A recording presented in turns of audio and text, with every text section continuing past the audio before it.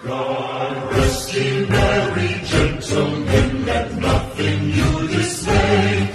Remember Christ our Savior was born on Christmas Day to save us all from Satan's power. We were gonna stray.